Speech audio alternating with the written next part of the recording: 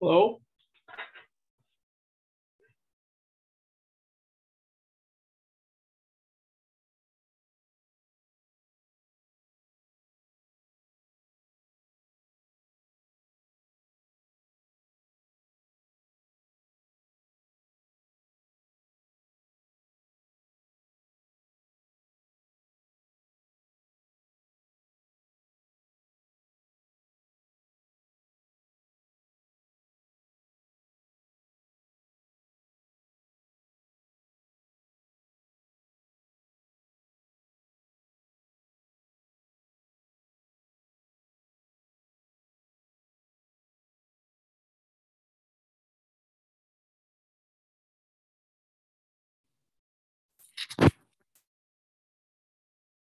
Hi, Tom. You the the webinar has started, so you are now live. We are still waiting for Joe to join us again after last session. So if we want to wait a few more minutes, we can do that, or you're welcome to get started.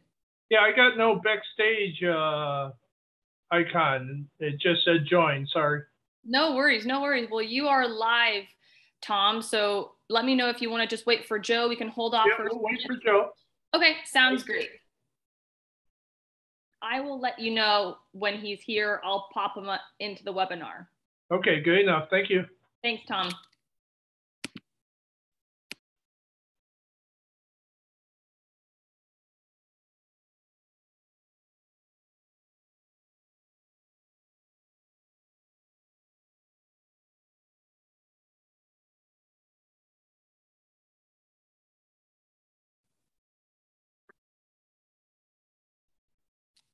And here we are with Tom Fagan, and welcome to our Spectrum Management Certification uh, segment. And uh, we had Tom in last year. Uh, some of you have not met Tom, and some of you have. Uh, but I want to just, you know, just high level, Tom focuses on spectrum management for DoD, NASA, and NOAA, uh, which includes systems engineering, satellite operations, spectrum allocation, and federal spectrum repurposing. Uh, welcome back, Tom. I know there's a great need for spectrum management certification and spectrum managers in general, and we've been seeing that from all angles. In fact, we have a whole panel uh, with uh, uh the National Science Foundation tomorrow on that very subject. So uh, your uh, your skill set is obviously in high demand. I'm sure you're no surprise to you. You're, I'm sure you're quite busy right now. But we just love to hear, you know, what your processes are and of course maybe a little q&a at the at the end once you're done presenting and to understand how uh, we can get more spectrum managers into the system. So with that uh, welcome tom fagan and uh, feel free to jump right in. Well thank you so much. Uh, let me go ahead and share make sure i am sharing the right screen. Are you seeing that joe I am. Uh, spectrum management, slide one. All right, super. Uh, I want to first uh, state I don't work for iNARTE. Uh, this was a volunteer effort that uh, went over many, many years of, uh, I think it took 20 years to actually get this rolled out. So we'll go through this and show you all about it. So iNARTE actually started out as a national Association for Radio and Telecommunications. Uh, as always, the phone goes off as soon as you get on the telephone.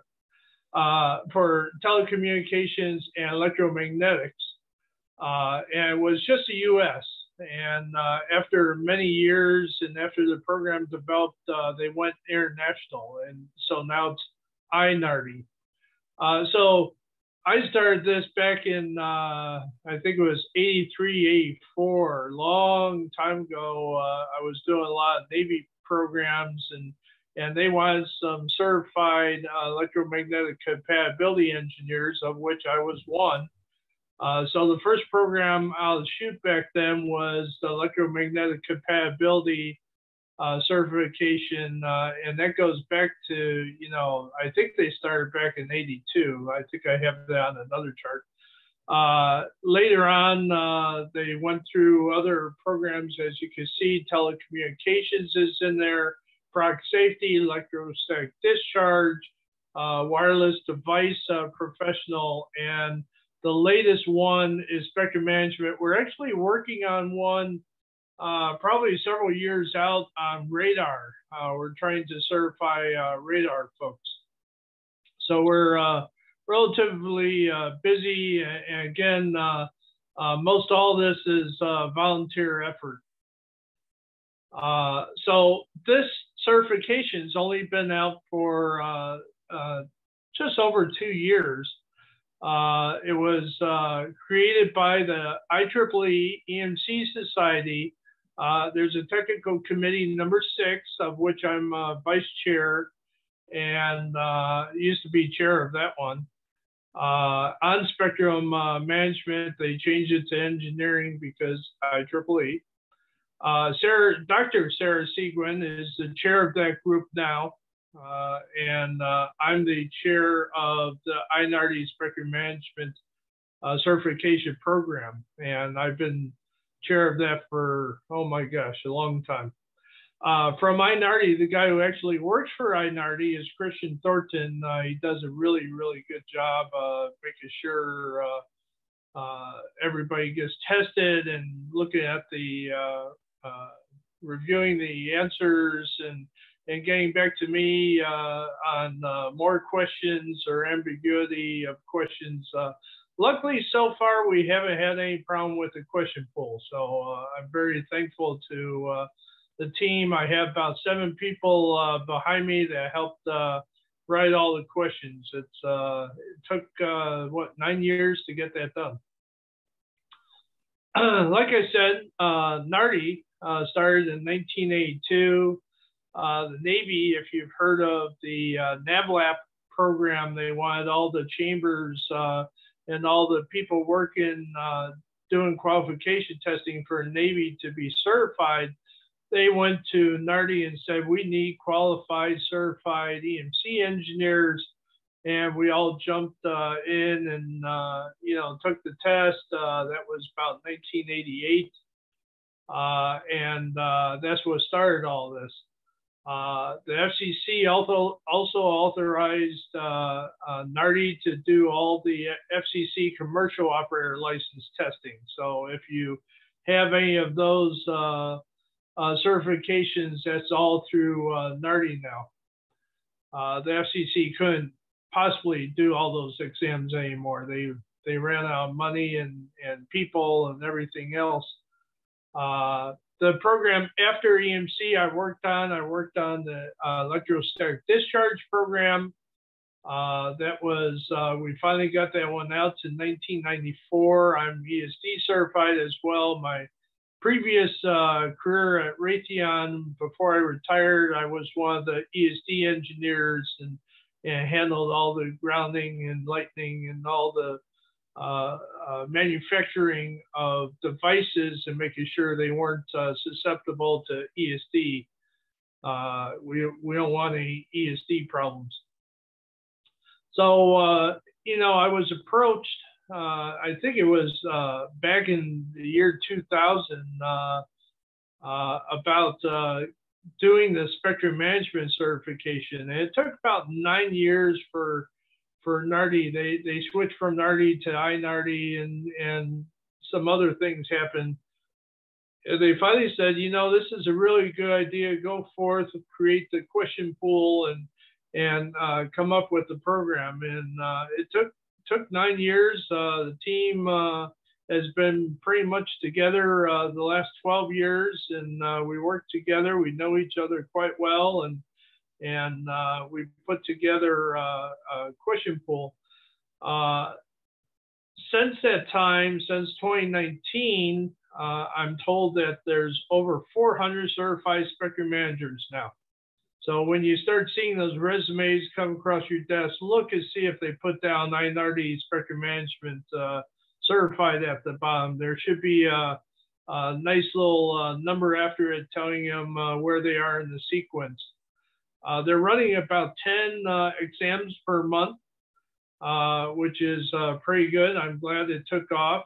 Uh, we were kind of worried that COVID would have had a negative effect on this, but you know, the, the nice folks at uh, iNARTE started up a program where you can actually take the exam at your local university, community college, or online, which is real interesting.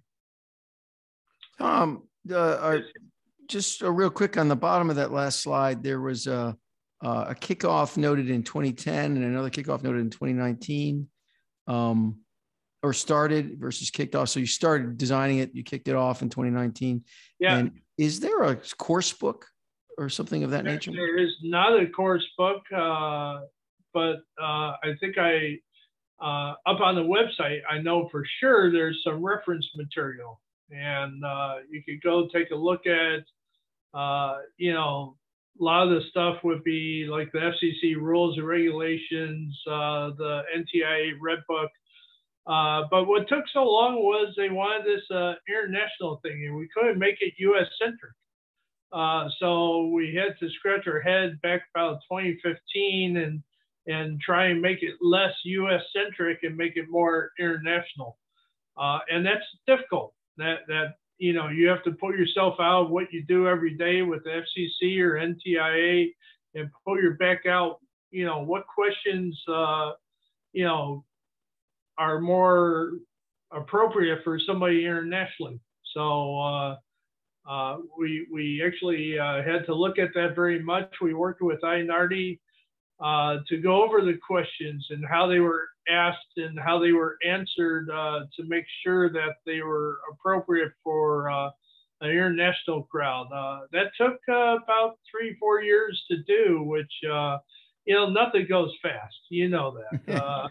you know, especially in the federal government, uh, I think it, it's just slower than molasses sometimes. And this process came and went, and uh, uh, we I'll go through some of the question uh, areas, but yeah, we actually had to uh, change in midstream, which took a little bit of work, and you know, you, you scratch your head a few times.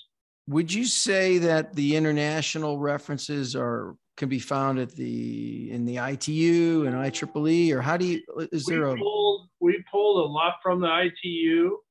Uh, we have a lot of generic questions. I, will go through some of those uh, coming up here, uh, uh but we couldn't make it all U.S. based. So it can't be all FCC. It can't be all NTIA, which which is how it started. Uh, in fact, all those questions are there now.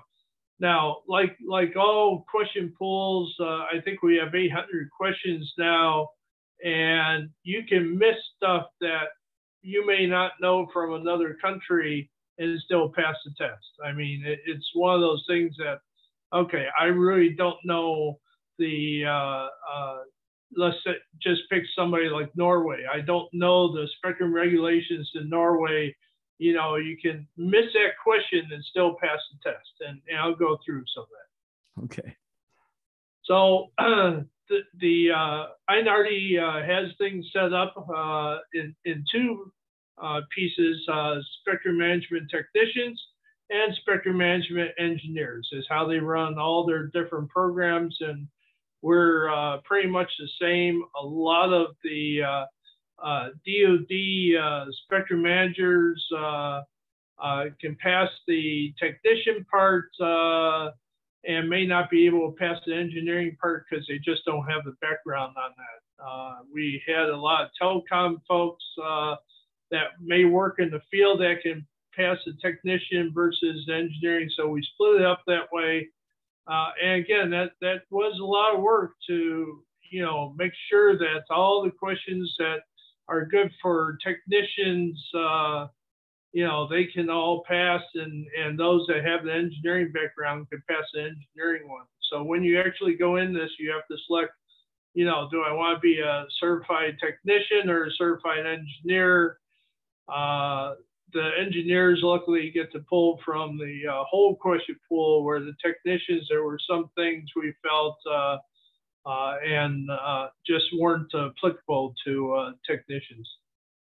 And, and, all this was around to the fact that if you see on the resume that you have a new candidate that's coming in, let's say you have two candidates and and they're both pretty much equal, but one of them has on their resume that they're iNARTE certified engineer or technician and the other one doesn't have it uh, we've done a good enough job that, uh, you know, as a, a past uh, hiring manager, I can look at that and say, I know that program. I trust iNARTE. If they pass that test, that's the better candidate. So, you know, that's what we're trying to do.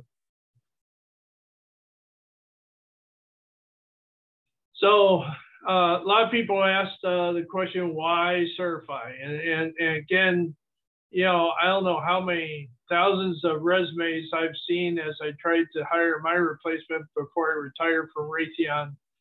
Uh, but you know, you, you get all sorts of uh, really good people writing resumes uh, that really didn't know their stuff. Uh, this was another way to actually uh, know if they did know their stuff or not. Uh, so it, it's you know, we all talk about metrics. This is, you know, like one of those metrics is something measurable. You pass this test and, and you barely, uh, we know you know your stuff. Uh, the, the other thing that's nice about this is uh, yearly, uh, you, you have to renew yearly on this and, and you have to say, uh, yay, barely, I've been involved in my field. I, I went, you know, got my training classes of NSMA, uh, or other sources. Uh, you know, I've kept current on all this and and uh, I'm really uh, keeping abreast of everything with Spectrum and 5G and Wi-Fi and all that uh, GPS issues. Uh, and and you you write that up, you submit it, and and the folks at our iNARTE know that you've been keeping up with it, which is really nice. So we all know about spectrum management. I, I, give this presentation to a lot of folks that have never heard about spectrum management or know anything about what we all do. I think everybody on the phone knows that uh, spectrum is uh, very congested, it's very contested. Uh, you, have got uh, everybody out there trying to use everybody else's spectrum, and and we heard a lot of that throughout the day today, and we'll hear more about that tomorrow. Uh, and it's just not U.S. Uh, when we had to stop and uh, reshuffle everything to change from a U.S.-based uh, uh, certification program to an international one, we all know this is happening all over the world. Uh, one of the lawyers that was working with us, reviewing everything, took a, some FRS radios to Italy and had them confiscated at the uh, airport because they weren't allowed in the country. And, and she was uh, uh, surely backing us on the certification program, uh, not only for all the spectrum managers, but for uh, a lot of people that uh, need to know what's going on there nationally. Uh, again, uh, spectrum management, uh, you know, we have a unique group. We have lawyers, we have engineers, we have technicians, all trying to figure out how we can handle uh, the uh, electromagnetic spectrum. Uh, it's uh, advancing very quickly. In fact, this morning I had to break off this and go answer another question. Uh, yet another modulation uh, scheme that we're looking at for a new piece of hardware. Uh, I deal mainly in satellite work now, and uh, we have to go off and uh, figure out how we're going to handle that type of modulation in the spectrum world. And and a lot of the folks up at the NTIA and DoD uh, are having a hard time keeping up with all these new modes of operations and modulation schemes. Uh, in fact, we're we're finding, uh, well, probably everybody on the phone has heard the uh, need uh, for uh, more qualified spectrum managers. We used to pull a lot from the DoD field, but the just trying to get good spectrum management engineers right now is very, very difficult. and, and you know, the last bullet on here is uh, spectrum management is not taught anywhere uh, as any part of a university. There is uh, Fred Matos. I don't know if uh, you you all probably know Fred Matos used to be uh, at NTIA. He's now teaching a spectrum management class, a very good one. Uh, I'm not sure if he's using us as the final exam or not. Uh, there was some talk about that. I guess I need to talk to Fred about that. But I think he's the only one actually teaching a spectrum management class that we found. Uh, topics to be covered. Uh, we go over all sorts of basic theory. Uh, of course, uh, you know, some engineering principles, uh, uh, spectrum allocation, FCC, NTIA, and, and international spectrum policies basic radio uh, technology. Uh, you know, what's a radar? You know, where would you use a radar? Uh, satellite communications. Uh, that's a, a, big one for me lately. Uh, so this is uh, some of the topics that are covered. We get into EMC design. I, I, have one group that thought they could run a, a very, very high-powered uh, test in uh, the GPS band, and their enclosure consisted of plywood, uh, which doesn't stop any uh, RF from leaving. Uh, there's number two on the phone, sorry. Uh, the plywood doesn't stop anything. They did not know about shielding and, and how that stops the RF from getting out of the chamber uh, filters and grounding, bonding, all sorts of good stuff. I know tomorrow you have a uh, presentation on RF safety. We go over, uh, uh we have a, a, bunch of good RF safety uh, questions uh, in there. link budgets, interference resolution. How do you solve the interference problems? And I heard some of the previous speakers talk on uh, how they got everybody in the room and tried to figure out how to uh, those issues.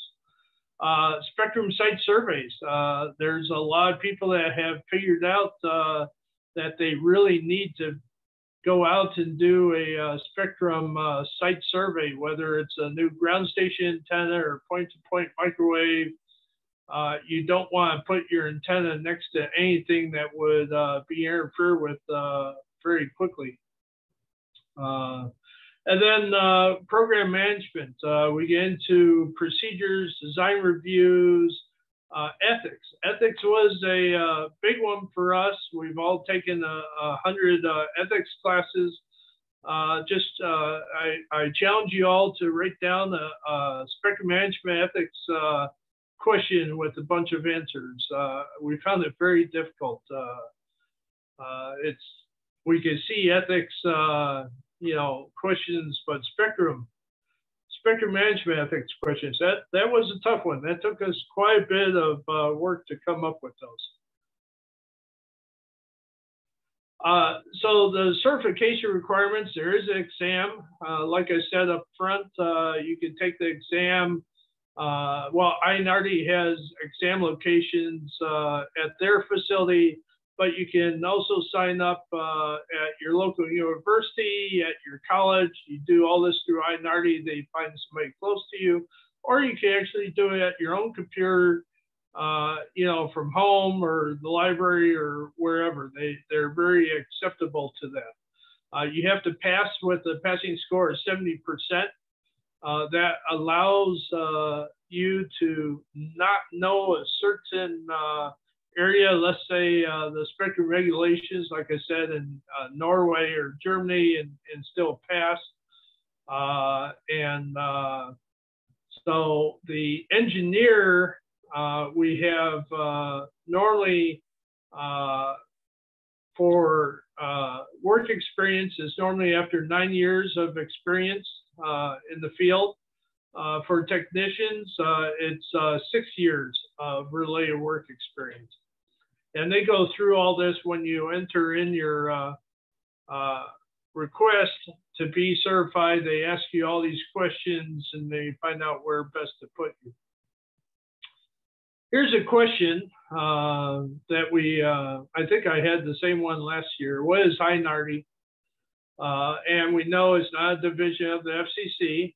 Uh, that, that's for sure. We know it's not part of the NTIA. Uh, and even though IEEE EMC Society uh, allowed us to work on this and, and uh, all the uh, program folks that developed all this are from the EMC Society, it's actually part of Exemplar Global. So Exemplar Global is a global certification body uh, internationally. Uh, used to be called RAB QSA. Uh, so you may have heard of one of those two. Uh, those folks are really good. They have uh, experts in linguistics and and uh, I think they've translated the questions into many different languages. but they're they have special people that that just write questions and answers, and they make sure there's no ambiguity in the question or the answers. And uh, that was a real learning experience for us to figure out uh, how to write questions with no ambiguity. Uh, engineers are always good for uh, is it two or 2.1 or 1.9? And, and you don't do that. Uh, so each of these questions, and like I said, we have uh, well over 800. Uh, this one, the correct answer would be C. We have references uh, where we found uh, the information and the category. And the category is what you saw in the last two charts, one of those different categories. And we made sure that each of those categories has a sufficient question pool so that when they put the questions together, and we never see the, the exams, but they pull randomly from each of those, but it's populated so that each area on those last uh, pages has equal representation of questions uh, for the exam. Uh, the exam is four hours in duration. You can take as little or as much of that four hours as you need to pass a test. Uh, all the questions are multiple choice, which makes it real easy to grade for them, I guess. Uh, and out of those 800 questions, uh, they pick 50, and each test is a random 50 uh, questions. Uh, and you should try and answer every single one of them. The uh, exam is open book, open notes. Uh, calculator is allowed. I did hear from from a friend that said when he took it online, you know, they they have to see that you're you know, in front of the camera while you're taking the exam. Uh, he had everything on his computer, which makes it, uh, you know, tough to uh, uh go back and forth. He only had one screen. So if you're going to take it on the computer from your home, it's best to have two screens, one with all your notes on one screen and, you know, the test on the other screen. Uh, passing mark, like I said before, is 70%. Uh, uh, if you don't pass it, and I don't know if anybody's actually failed it or not, uh, that would be a good question for me to ask. Uh, but if you do happen not to pass, you have to wait 90 days and you have to retake it. Uh, I don't know the cost. I try and stay away from anything financially. Uh, but the person to contact is uh, Christian Thornton. I have his info on the screen. Uh, he's at iNARTE. His phone number is right there. Uh, and uh, iNARTE is right there. If you go to inarte.org, you'll actually find it. Click on uh, Management. Uh, they probably have a whole lot more info uh, than I have here.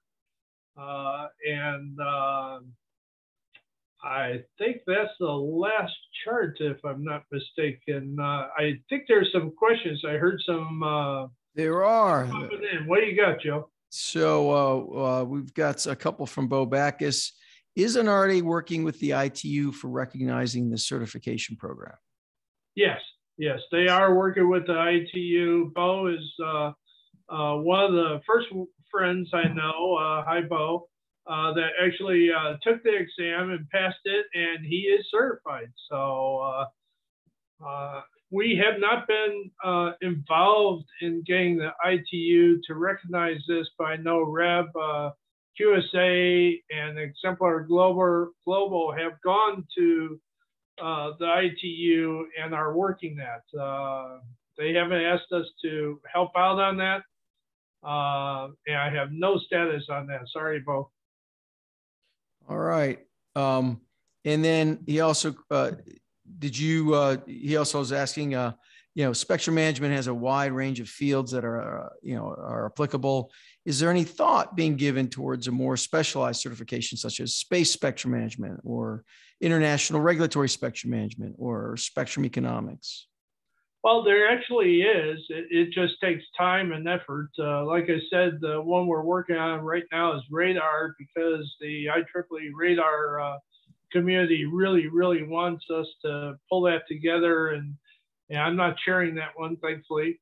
Uh, but uh, one of the other fellows uh, is uh, chairing that one. I know Fred Matos wanted to expand that one, and and you know, if Fred wants to go ahead uh, as part of his class and work on that, uh, he's more than welcome to it. I've uh, already worked on three of these. I don't know if I want to do another one. I don't know if I'm going to be working another 10 years to get this done. So uh, uh, we'll we'll let somebody uh, younger and smarter than me carry that forward if they so wish it. So, but that's a good idea. It's been brought up yeah, no, it should be real interesting.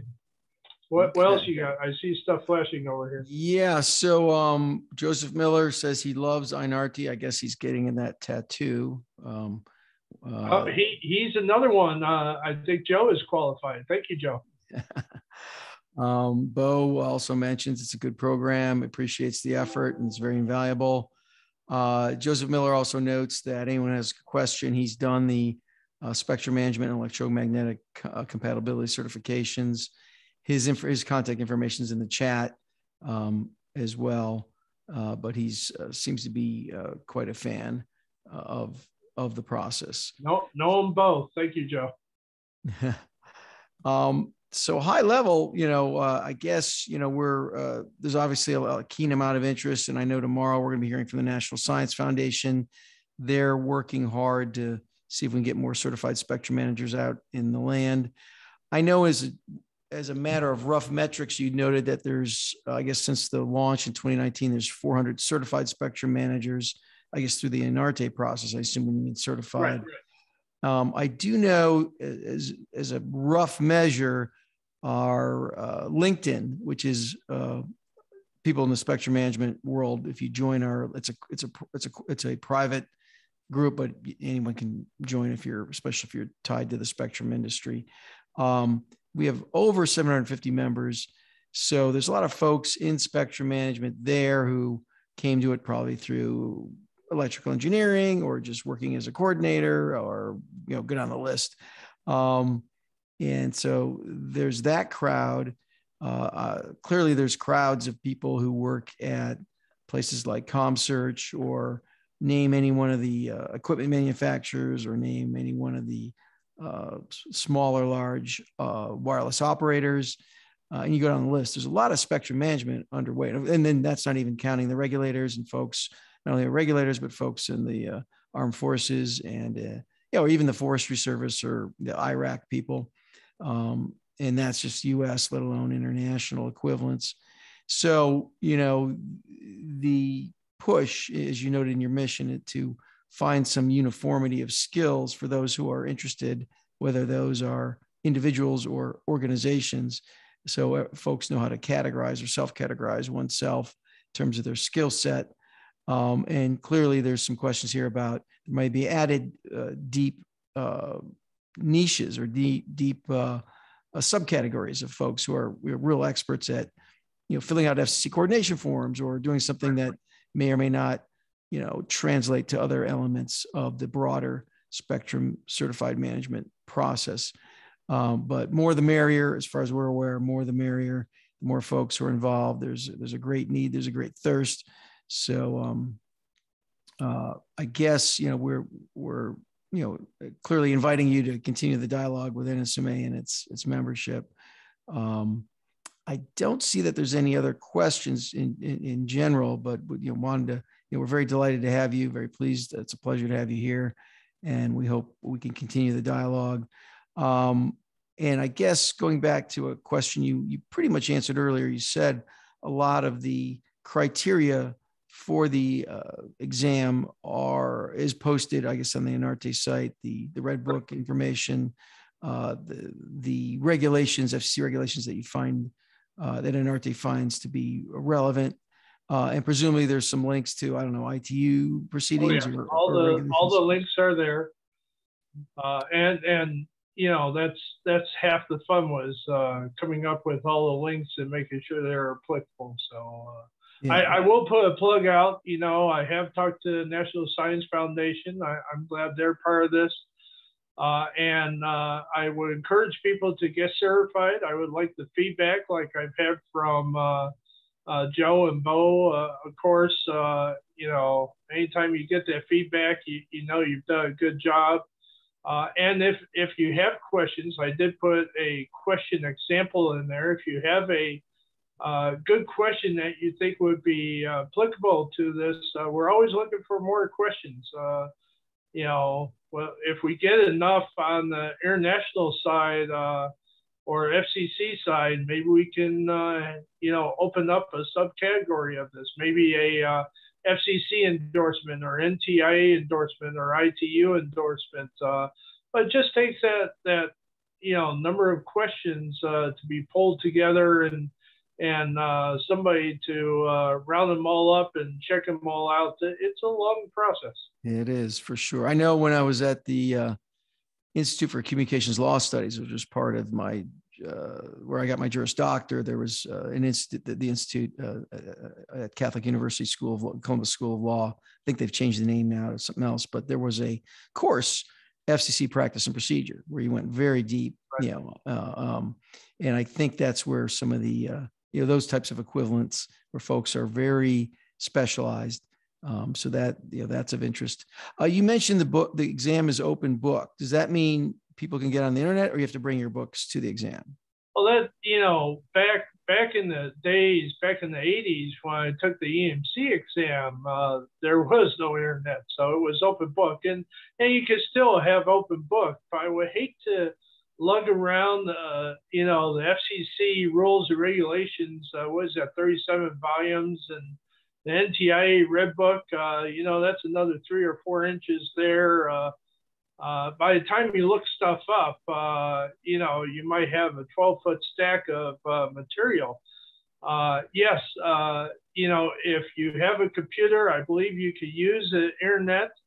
I know some people uh, and Bo and Joe, I know you took the class. I don't know if you took it in person or if you took it uh, online. Uh, if you take it online, I think you need two screens, one for your notes and one for the camera to look at you. So, uh, okay, you can take it online. Can you have open book when you're online? Okay, so you can uh, use the links uh, and A notes. Okay, so. So the short answer is you can, and just you know, and uh, or, or you can look like Arnold Schwarzenegger and carry around yeah. 12 foot stacks of books. You yeah. get certified in phys ed at the same time. Yeah, uh, it, like like uh, who is it? Joe said two monitors uh, really works out because you could search on one while there. So I guess you have to have a camera and they have to watch you to make sure you're the one taking the exam. I believe that's what I've heard. Uh, you know, like any of these remote things, yes, there's a thumbs up. Thank you.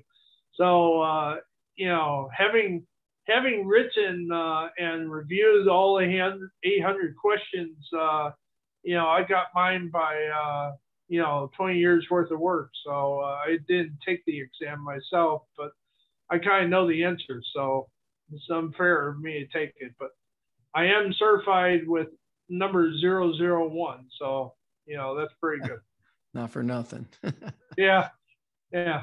So, well, great. Um, well, uh, you know, again, thank you for your participate participation. I think, you know, this is a, a, continuing area of high interest. This is a continuing area of growth. Uh, so I think we're all quite interested in making sure that what you're doing uh, continues and expands. And uh, oh, fantastic. Yeah, we appreciate you coming.